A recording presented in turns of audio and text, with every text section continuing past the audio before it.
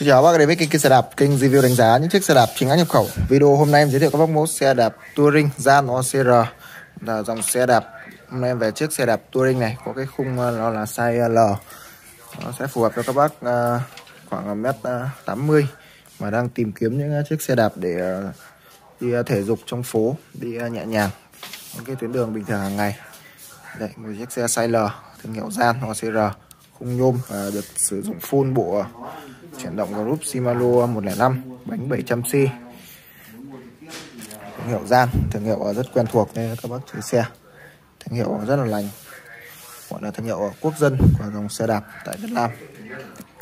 Hình nhôm. Roma Luix 6061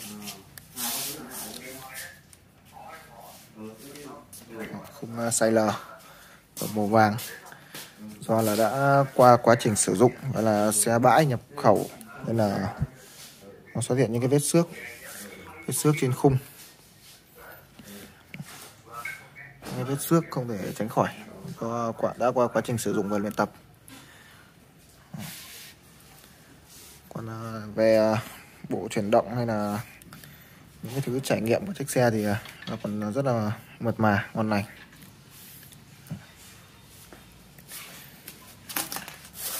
Bộ group chuyển động Shimano 105 từ cặp phanh ba mảnh. Phanh đến à, đùi đạp, đùi à, à, đùi trục rỗng, đùi trục rỗng 105 rồi đây là gạt đĩa. Đây là gạt đĩa đua dây. Đua A là phụ tùng nó cao cấp nhất của dòng Shimano sẽ đua như các bác chơi xe thì cũng có thể đánh giá được bộ đua dây này. đây là 105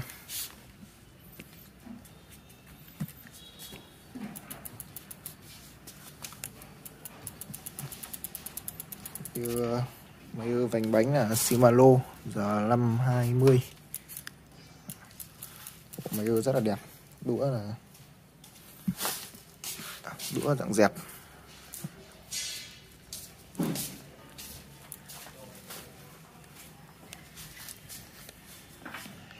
Phần ghi đông của chiếc xe đây được sử dụng bộ tay bấm của Shimano Atut với đây là 9 9 speed tương ứng với là 9 tầng lip bên này à, 3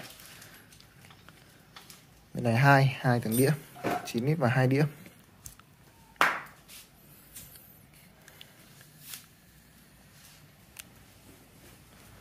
Mình sẽ vào à, đo size của chiếc xe và test chuyển động.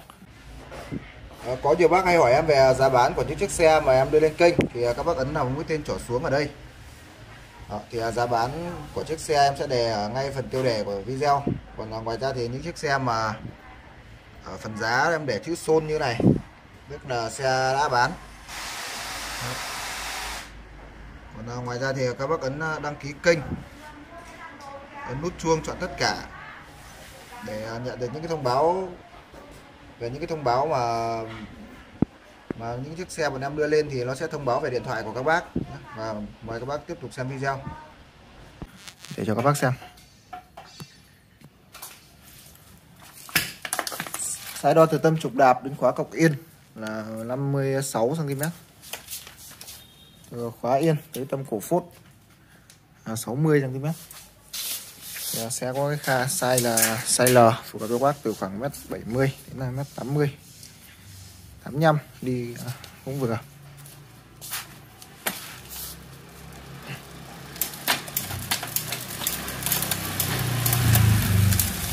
Dạ, chín tầng lít à, hai tầng đĩa.